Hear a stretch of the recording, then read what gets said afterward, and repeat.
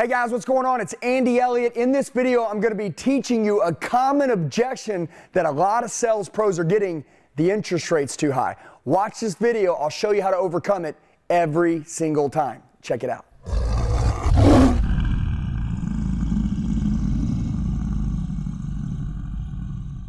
All right, guys, so in this video, I'm going to talk to you about the interest rate objections. Now, right now, if you're in any sales industry, I don't care, like let's say real estate right now, the interest rates are up. The feds have raised the rates. So, what is going on? People are holding back because interest rates are a little higher. Listen, that's just that's a smoke fog that's a stall that, that's nothing i'm going to show you how to overcome it that's a smoke screen it doesn't exist that's fake and there's always going to be an objection that people are going to want to lean into if you're in the automotive space i bet we could go back together eight months ago, okay? It'll always change in times, there'll always be different objections, but about eight months ago from the time I'm making this video, customers, consumers had to pay addendums. They had to pay market adjustments. They had to pay, in some cases, 10,000 up to 50,000 or 100,000, even more for a car than what it was worth because of supply and demand and market, right? So what happens is the interest rates were super low. It was almost like free money, but they had to pay all the dough for the car.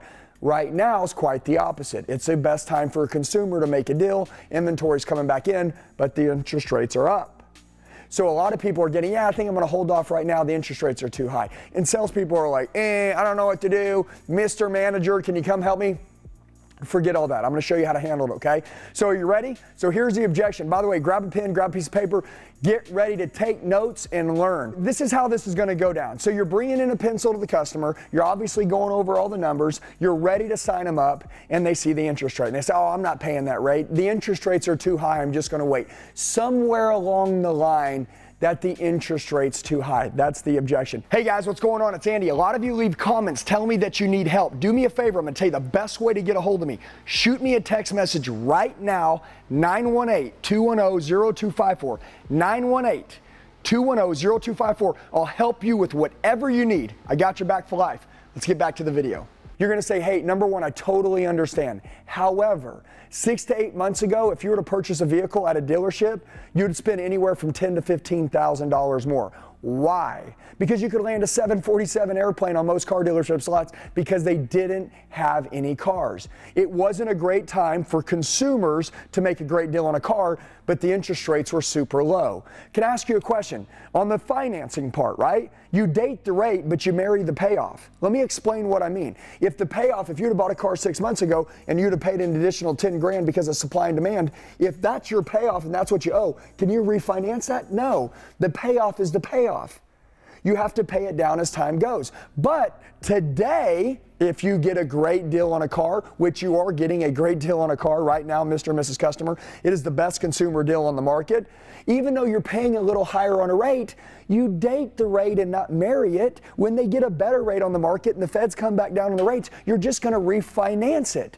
You've got a great payoff on your car. You've got a great price on your car. You're getting a great deal as a consumer. Imagine if you had to buy 10 months ago. Would you have paid $10,000 more? Probably not. But guess what? Everybody did because the rates were low. It was like free money. But now you actually get a good deal, which means your payoff's going to be less. But guess what? Even though the interest rate's a little more, you only date the rate. You see that rate that's on your contract? You're going to pay that rate until the interest rates come down, and then you're going to refinance it. It's that simple. Any bank in the world would love to give that customer a great rate as rates come back down, and they go up and down all the time. So right now they can have the ability to have a great deal on their car, which is they came in for, and then because the feds have raised the rate, rates, guess what? They're just going to date the rate for a while until they go back down. And guess what? They got a great deal on a car. They can refinance the rate whenever they go down. Abracadabra, everybody wins. It's the best time in the world to make a deal. That's it. And that's what I love about interest rates. Interest rates go up and down all the time. Also, inventory does.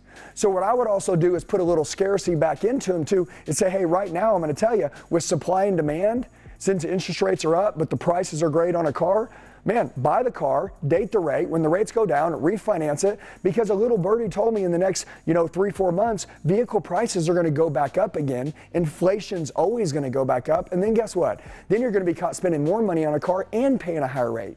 Securing your best deal, write that down. Securing your best deal, Mr. and Mrs. Customer, is signing on the dotted line right now. Let's do this. By the way, I'll be happy to tell you about some good uh, financing companies around town that offer great rates as things change, like credit unions.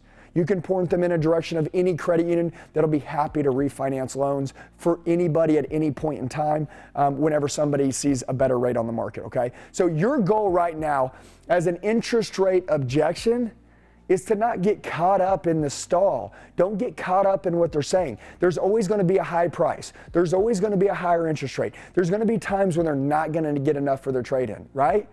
What's the objection today? The objection today at this point in time when I'm making this video is the interest rate's too high. So write down some keynotes. Number one, date the rate. Okay, really easy. Date the rate. Super simple. Hey, Mr. and Mrs. Customer, obviously there is a rate on your contract. That is the rate for the full term of the loan. It's that simple. But as interest rates go down, interest rates can be refinanced. So you're physically going to date the rate. It's that simple. Secondly, this is super important. The price on the vehicle, the one that you're buying right now, consumers want a great deal. You're getting a great deal. So you're getting everything you want. Six months ago, you'd have paid an additional 10 to 15 grand for the same car. Okay? Remember this. You can't refinance a, a what? A payoff, okay, but you can refinance what? The rate, okay?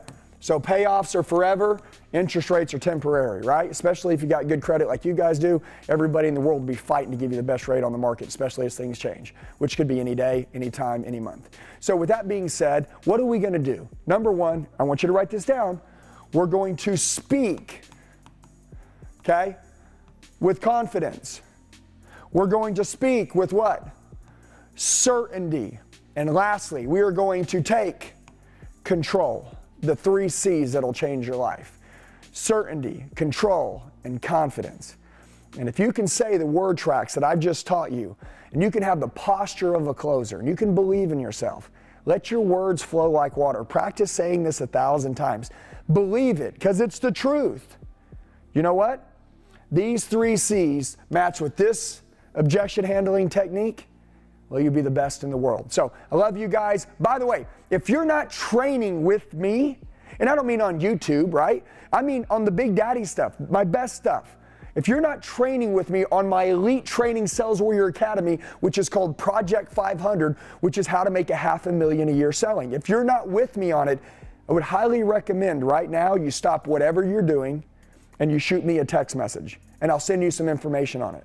I'm going to give you my personal cell phone number. It's 918 210 0254. 918 210 0254. Shoot me a text. Say, Andy, my name is Josh. Uh, give me some information on Project 500 on how to make a half a million a year selling.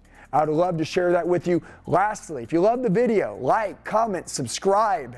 Share it with the buddy that could help use some training to kind of get their day going, help get their month started, right? Pull them out of a slump or take them to another, another level. I love you guys. I got your back for life. Shoot me a text. I'll see you guys soon. Hey guys, I just want to tell you, you're the true one percenters. You made it till the end of the video. Do me a favor, share it with the friend that wants to go to another level. Make sure you like the video, comment below so I know who you are. Set your notifications and then subscribe to the channel. We got daily sales training videos dropping. I'll see you soon.